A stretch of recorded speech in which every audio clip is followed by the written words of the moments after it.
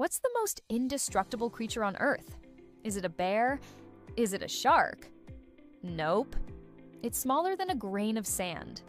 It's the tardigrade, also known as the water bear.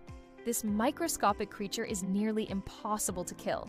Scientists have boiled it, frozen it, blasted it with radiation, even launched it into outer space, and it survived. No oxygen, no problem. Extreme heat, cold, vacuum, the tardigrade just curls into a dehydrated ball called a tun and waits. It can stay like that for decades, then rehydrate and come back to life like nothing happened. In 2007, tardigrades were sent to space without protection.